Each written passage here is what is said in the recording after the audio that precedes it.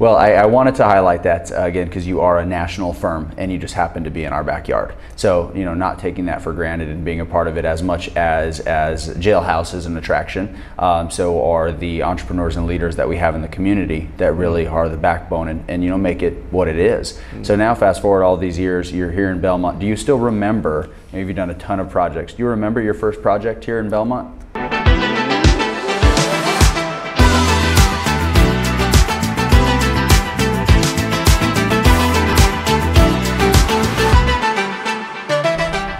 Welcome and welcome back to Building Belmont. I'm your host Keanu Trujillo and today we're joined by the president of Helt Design, formerly CL Helt Design architect, founded in 1969. Today we have the principal of the company, Tim Johnson, spending some time to share his story and share information about his business and some notable buildings around the community that we are now blessed with to see and experience that you helped to bring to life. So Tim, thank you for spending some time with us. Thank you. Thanks for coming. Yeah. What brought you to Belmont, Tim? um, back in uh, 2006, I was working in Cleveland, Ohio. My folks had retired to Hickory, and so visiting them over the holidays, particularly in December, January, it's seeing that we can hit 60 degrees, um, yeah, 60 in January and still have blue skies um, is, is what initially attracted me to the area. And then, of course, Charlotte and uh, surrounding areas were really booming, and so um, it seemed like a good place to grow and uh, be part of the community, but also have an opportunity to participate in, in the architecture and the, the urban fabric that was here. Yeah. So 2006, this was not the same Belmont, nowhere near what it no, was today. No. So in, in 2006, Um, there were maybe three or four restaurants, and now I think we have 17 plus, um, and some of them really great ones. Um, so, uh, it, but back in 2006, when I was trying to figure out where I wanted to live, um, um, at the time, NoDa was really hopping, and, and I thought as a young person, especially coming from Cleveland, uh, an industrial, sort of urban, um, heavily arts in, in, the, in the industrial side of industrial art. Um, I was really attracted to NoDa, but it was, even back then, it was quite expensive. Um, and, and, traveling around Charlotte, looking at different communities, I, I, I was really drawn to Belmont. And, and, part of me couldn't understand why it was that Belmont wasn't, wasn't hopping. Why, why at that time why wasn't it booming? It was so close to downtown Charlotte um, with easy access to downtown. Um, it, it, baffled me. And, and, as I reflected back and looked at other communities, I couldn't figure out why at some point Belmont wasn't going to pop. Yeah. And, and that's happen. Do you feel like a, a, a bit of a, of a, genius now, like you timed the market a little bit to uh, get in early? I don't know. I, it, there, there was a lot of um, serendipity, and, and it happened to be just at the time this was affordable for me to be here. Um, uh, to get a place within walking distance to downtown, to have a, a walkable downtown with a very authentic urban fabric. Um, it was it was really an incredible opportunity, and, and like I said, affordable. So, well, it's it's interesting how you have been such a instrumental part of the design of what Belmont has become. And when you came here and saw, not to say it was a, a blank canvas, but there was a lot of opportunity for growth. And your design has helped to really lead us forward and continues to. You have projects like the jailhouse, Stowe Park, that of course, are cornerstones of the community, and then other ones like the Trolley Barn and Piedmont Lithium, uh, Dynamo 31, these other projects that are up and coming still, so helping to, to pave that. Have you thought about how you've been a hand in that? Uh, well, we've, we've been blessed with uh, opportunity. Um, whenever we have an opportunity to work within our community, um, we try to, we give it our all and um, I, I, hope that that's paid off. We're certainly excited by the projects we've been involved with here. Um, seeing buildings, the jailhouse was vacant and had been vacant for a long time. To see that building now occupied. Um, people coming from all over actually to see that building, to, to, to go to the jailhouse and have a whiskey and a cigar. People travel now to see that building. Really? And so it's bringing people from um, outside of Belmont in, and, um, and they get a chance to see what Belmont's about. Um, so, Well, so- yeah. We uh, that that happens to be one of my favorite spots, and of course I'm I'm, I'm very partial to, to whiskey and bourbon. So of course, but yeah, it is really something. I always like to sh- share that story when I'm taking you know friends or family through downtown. I stop and say you know. Uh, Old Stone was the police department. Behind it was the jailhouse, and now it's still the jailhouse. And you know what it is. So it is. It is an awesome you know thing to have. But you know, I'll say this because I uh, assume that most of your book of business actually isn't in this area because you service clients across the country. So I want to highlight how lucky we are to have you in our community because when things are so close, they just kind of get taken for granted. And so for you to be here in our community, what, what percentage of your portfolio of your book of business would you say is actually local versus uh, everywhere else? Um, I, I would say our local projects, um, local to Belmont, is is in our surrounding areas maybe 15%, maybe Wow. 20%. Yeah. Wow. Yeah. That. um, but but we probably spend the most time on them. Makes sense. um, yeah. Yeah.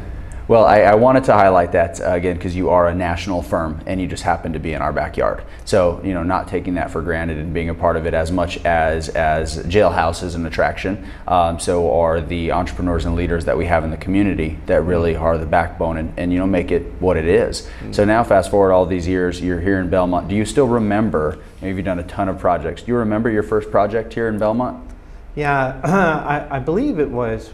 We got connected. Well, to back up a, just a second, the firm has a history of, of doing work in Gaston County um, and downtown Belmont, but even before my time, um, and and McAdenville, um, and and I believe downtown Gastonia as well. The firm's been around for 53 years, and so we weren't we weren't foreign to doing work in Gaston County, if you will. Um, but but we've certainly, I think, um, people have maybe gotten to know me or heard about me uh, or the firm and reached out about opportunities. And the first one I think was Dick Cromlish came to us. Um, he wanted to do a, a live work project with an existing building adjacent to City Hall.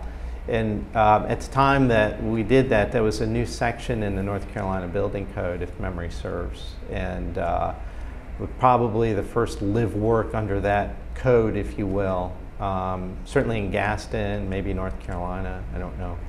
Um, but um, that was maybe one of our first projects, and it was fairly simple. You know, the goal was to not change more than we had to, but to, to get it under that section of the code and successfully permitted.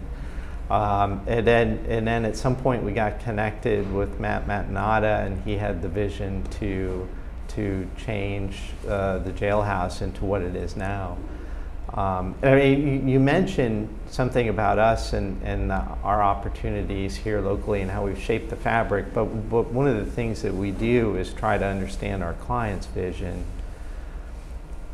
and, and figure out how that uh, can materialize in, in, in an architecture, in, in an expression of architecture. Um, so it, it's not just us, it's, it's our clients and what they convey to us and the process we take the projects through. Um, we, we can't design in a vacuum, if you will. So, Yeah. Um, but the jailhouse was, uh, I believe, the second uh, sort of larger project in Belmont, and um, and yeah, there was just a unique project and actually a really challenging one uh, because it was a jail. It was very stout in construction. Jails, even today, the walls have to have rebar four inches on center. Uh, you don't typically build a wall that way. Um, it's so to modify that was it was extensive. It was it was tough. A a big undertaking on Matt's part um, and the contractor. So, um, but but what a unique project. Um, so, From the, uh, and this is again com- completely showing my, my ignorance to what goes into doing something like this. At what point, as an architectural firm, as a design firm, my thought is you're probably the first one to get called. But but at what point in the process does someone say, okay, I have a vision and I want to start to bring it to life? Do they do they call you? At what point do you get introduced to the conversation? Yeah, it, it depends on the project. It, um, sometimes we'll have developers come to us and they already have a civil engineer involved. They already have a bit of a site plan. And, and uh, in some cases, it's fine. Uh, some developers developers are, are, very savvy and, and skilled, um, but um, we always like to be brought in as early as possible because we, we may uh, see something and think about it differently than a civil engineer and, and suggest something different that the team or the ownership maybe hasn't thought of. Um, sometimes it could be a master planning project. So um, we, we just finished master planning 70,000 square feet of uh, mixed use with retail and um, wow. brewery and um, office building, um, food hall, etc. Um, and, and, and actually, we were brought in a little bit late on that game, and, and the civil engineer had been developing something, but it wasn't really gelling with the ownership. And so, and, and, and that's a good um, example of where we came in. We're able to hear the key points that the owner was trying to get at and, and massage things in a way to get it to gel and um, in a way that they were happy with. Mm -hmm. Um, so uh, other times, it may be in, in Matt's case, you know, they had a vacant building and a vision to do something with it. He heard about us and reached out to us. And so sometimes it's word of mouth. Yeah.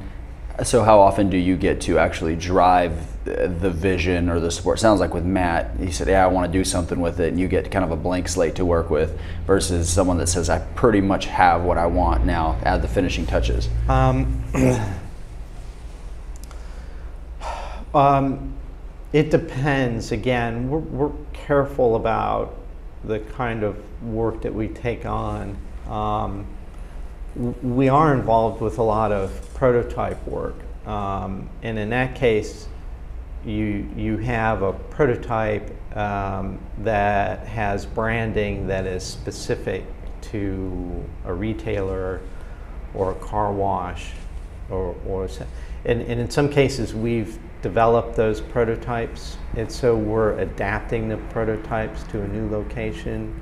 And so in that case, early, early on in the development of a prototype and a brand for something, like for example, a car wash, like how does that get branded? So we were on, on that. We were brought in very early and helped them um, come up with this brand and prototype. Um, in other cases, we do work for developers that they, they already have the prototype, they know what they're doing, and um, we're, we're figuring out how to adapt it to a new location. Um, that, that's specific to a certain kind of work that we do. Um, um, locally, if, if somebody comes to us and has a vision, um, we try to understand what they're trying to get at with that vision. It, it may or may not feel that it's architecturally prudent or fits in, and in, in which case we'll take them through a process to show them maybe what their initial vision is and looks like um, but then something else that they may not have thought of mm. that that perhaps works better or fits better in the context of where we're designing. Mm. So that may be a long-winded answer. Yeah, well, it is interesting, and again, of course, uh, stories, connection, information as far as our, our platform goes. And there are going to be some people in the community that did not know you or really behind the brand, or even understand that it is a locally founded company, you know, over mm -hmm. 53 years old, and so some will hear that and say, well, that's kind of boring to me. For me, it's absolutely fascinating. Mm-hmm. And others will hear it and absolutely lean in. So when we get to hear who's listening, they say, man, I really loved this one or that one. It's all about preference. Yeah. So we really like to just connect with the person and, of course, the, the entity of the business. And, you know, someone listening, listening to this now may say, hey, I actually want to go work for them now. I have mm-hmm. my aspirations now to join that team. So we never know, but no, it is a great answer. And I wanted to know a little bit more about your process how do you get a vision from someone? Do they, I, I don't know how often they come with some kind of, of rendering or even some kind of concept, and then you get to make it one of these. And if you're watching on YouTube, we have some of CL Helt's designs here behind us. But how do you capture what they're trying to say? Uh, there's the old saying, "Do you see what I'm saying?" Which is you know kind of leadership, but also creative. How, how do you get to this point from a, a concept? um, we're trying to understand the ingredients that go into the recipe. Um, our, our, sort of design process, if you will, is a little bit like cooking, right? So you have a number of ingredients. Uh, we're trying to understand uh, what about those different ingredients is most important to the owner, like in a very big picture, right? It's not necessarily, I need this many spaces and they need to be this big. That's almost the second step.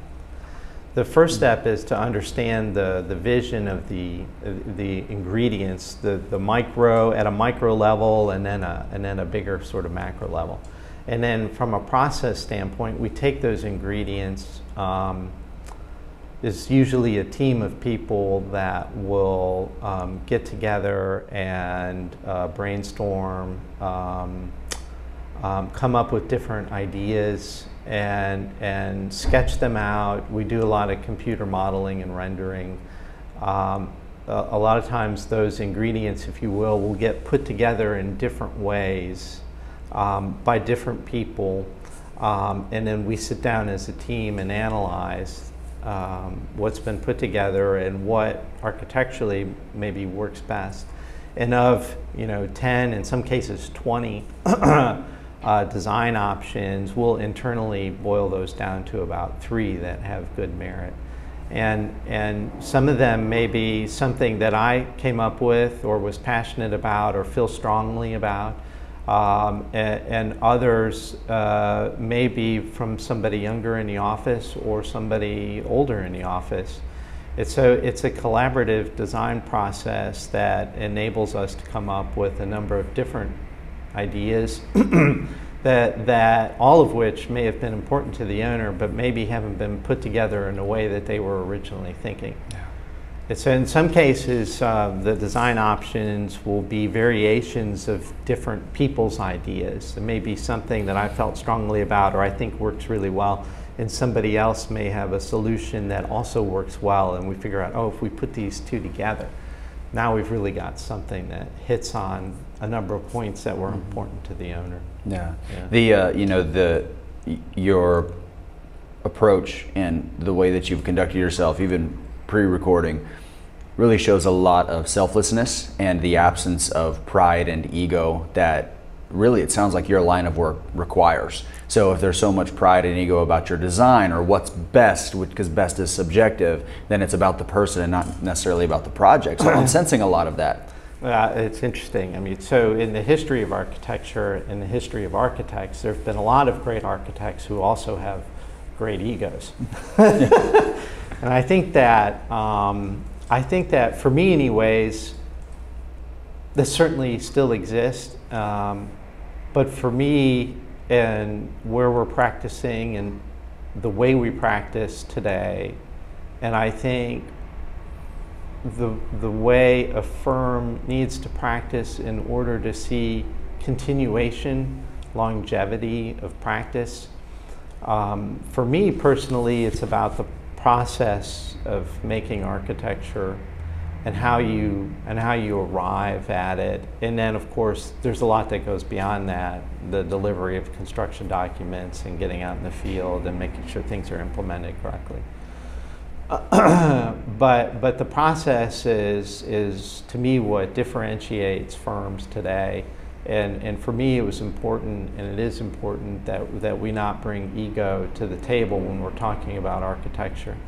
Um, and, and to me, that process is, is what's important and, and um, what will allow a firm to continue into the future.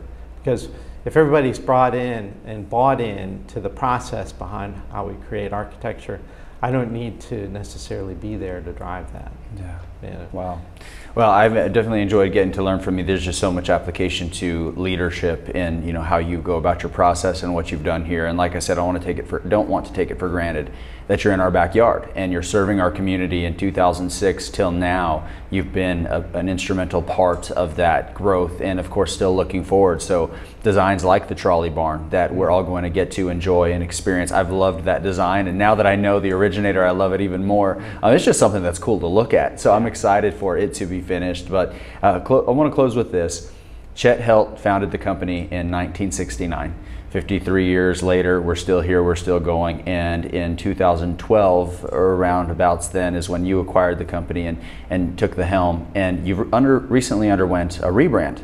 And you've decided to continue to hold on to the name as Helt Design. And you mentioned something pre recording that I want to honor that name, but I also want this to continue after me. So whoever else happens to step in, they can still continue to honor that, and it's not about me. Mm-hmm. That is so laced in legacy and, and, and the infinite mindset. So I want to hear from you. You know, what does legacy mean to you, and what's the legacy that you hope that you establish and that you leave here in the community and beyond? Um, um, the, the, there's a lot in that uh, question. uh, uh, for me, um, the architecture that uh, that uh, creates the urban fabric that we live in and walk in. Um, hopefully, um, the buildings, and, and many of which we've had the opportunity to work on, will continue to be useful to our community um, and, and be part of that positive environment that we live in long after we're not here anymore.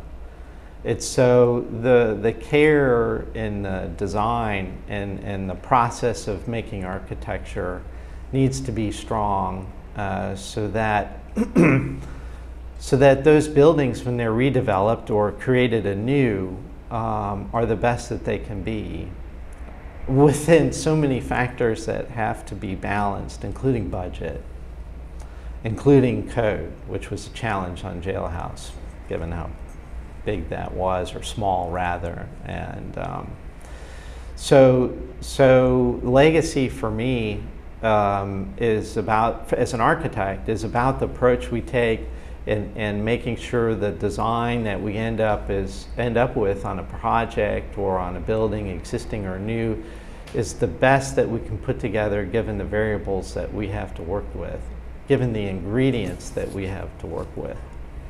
Um, and so for me, that's legacy within our, our sort of built environment. And then for the firm, we are actively trying to structure and position, look for talent, bring talent up within the firm so that the processes that um, have been here for the last um, 10 years or so since I've been here and, and added to them, and then the 43 years before that can continue on. Um, and, and my vision, my goal is that, that those things will be strong enough to carry the firm forward um, for another 53 years. So.